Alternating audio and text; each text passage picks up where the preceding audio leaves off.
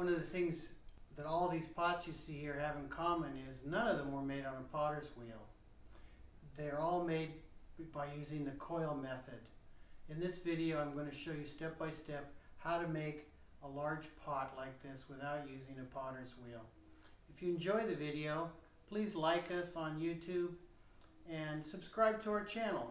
Okay, start this process by flattening out the clay, slamming it down until I get a nice flat surface to begin for the bottom of my pot. You could also do this on a slab roller if you want. This seems to work pretty quickly and pretty easy for me. I roll it out like so, and then just cut out a circle for what will be the bottom of the pot.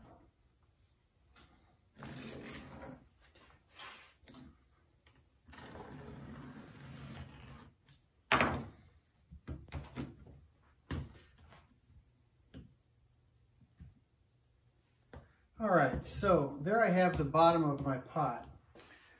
Now, I normally do this on a plaster bat and I use a, a, banding wheel. I said I didn't use a potter's wheel, but I do use a banding wheel for this process. So what I do is I take some of this leftover stuff from the, the bottom piece and I just roll it out into a coil and for my very first coil on the bottom of my pot what I like to do is I like to check, make sure it's going to fit. That looks good. Then I throw it down hard on each side, sometimes a couple of three times. And I bounce it once on its edge, flip it over. This is the edge it's going to, to attach to my bottom piece. I go ahead and put a little slip on the pot and on the coil. A lot of people don't know, think this is necessary. I know some people you do this step, others don't. I am just sort of in the habit of slipping and scoring every joint I make. All right, so what I want when I put that first coil on, or all the coils, I want them to be a little bit longer than needs be. And that way I can cut uh, it into shape. Now when I cut, I I use my knife and I don't go straight up. I cut it at an angle. That way gives me a little bit more clay to attach to each side. I lift this up, put it underneath, bring it up, give the two ends a quick score, and put it together.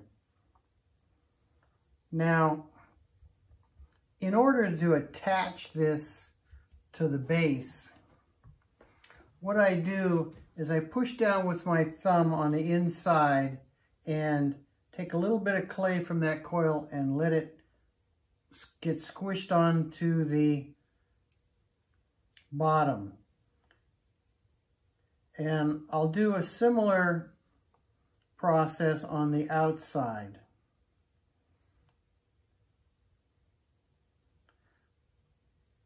For demonstration purposes, I'm going to do this real quick for you, but basically that's what I want on the inside. On the outside, I'll do the same thing,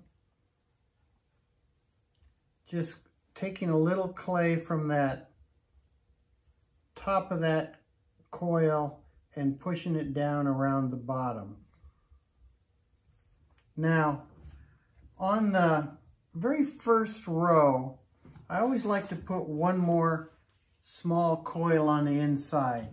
It just seems like that is a good way to reinforce it.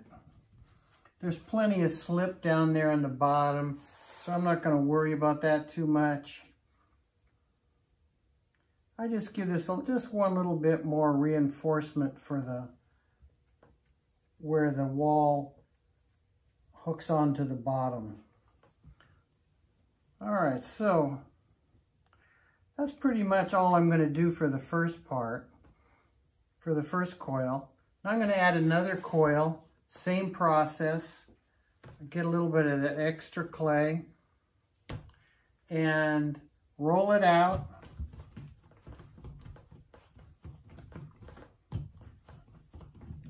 When you do this rolling part, it's good to, rather than just going back and forth, back and forth in the same spot, to turn it a little bit, give it another little push.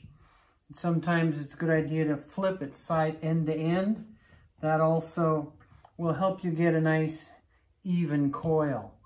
I'll check it, make sure it's going to fit. That's a little small, so I'm going to just give it a couple more rolls. Now I'm going to throw it down again. When I do this on large pots, sometimes I'll I'll make these a little bit bigger so that there's a little bit more there. All right, same process. Give it a quick splash with some slip and give it a little score and do the same process again. I know this is a little bit messy right now, but I'm going to clean it up later. All right, so same, same thing. I'll demonstrate this one more time for you uh, hold the fettling knife at an angle and push, put it underneath so I don't, if I did it this way, there's a chance I could cut too far. So if I put it underneath, I know it's going to be nice and neat cut. All right, so basically now what I do, the same thing again. I start pushing all the way around till I get it attached. And, and once it's all pushed around on the inside, I'll do it on the outside as well. Like so. Once this is all, uh, one side is all attached to the other, what I, what I normally do is I'll I'll take my uh, rib. I have a nice big flat metal rib here to, to clean it up. I generally put about three uh, rows on and then, then clean it up as I go. I spend almost as much time doing this as I do putting the coils on. And I do the same thing on the inside. I bring the rib around and clean it up. You know, these things, these things called ribs, you know why they're called ribs is because primitive people, when they first started making pottery, they used this very same method and they actually used ribs from actual animals, like a nice uh, deer rib will work really well to, has a nice sharp edge on it and you can clean up your pot. All right, I, I put another coil on and what I normally do is I just put three coils on and I let it dry. This clay here is pretty wet, so I'm going to give it a chance to set up. Oftentimes what I'll do when I have, uh, when I'm making these, I'll make two at once.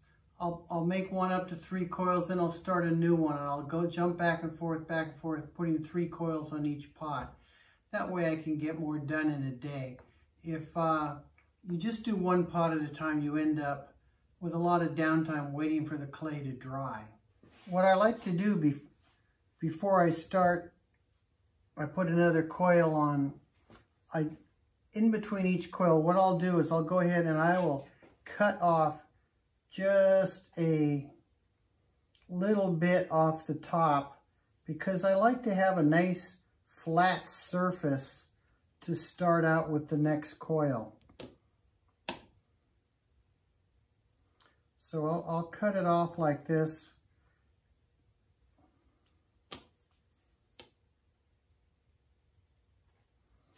There, that, that way I have a nice flat surface to add my next coil on. I added three more coils and spent a good amount of time cleaning it up with my rib. Now I'm gonna let this dry out so I can add a couple more. Well, I've added three more rows and I spent a good deal of time once again polishing and cleaning up the sides with my rib. I want to show you a little trick some people do when they make these. They'll take a form, make a form, you can just draw it and uh, you can just set it on your pot as you go and it'll give you a guide. So you can keep checking as you as you build your pot to get it square and and the size you want.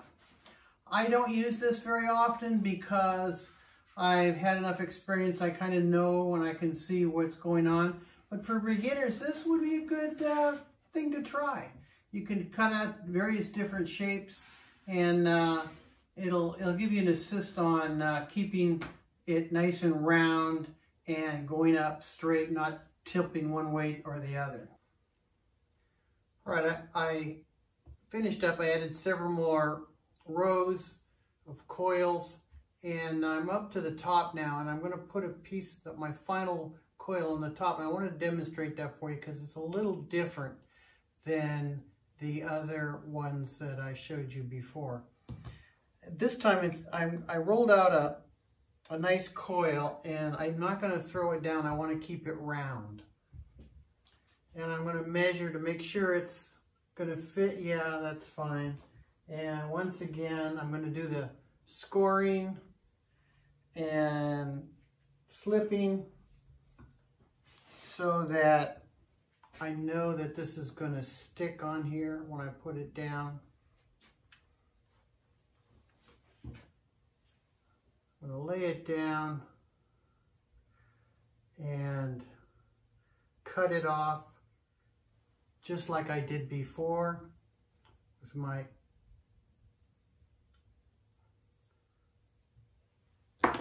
my knife at the slight angle. Now I want to make sure this gets attached here. I want to show you how that works. All right, in order to do this, I'm just going to pat it on the inside a little bit, get a little pressure on that coil. And then what I do is I, I push, just like I did before, I take a little piece of that and push it down underneath. I'm going to go all the way around do that. And then once I get that all the way around, I'll go back and I'll clean this up and try not too much to touch the outside because that'll stay nice and round if you leave it alone.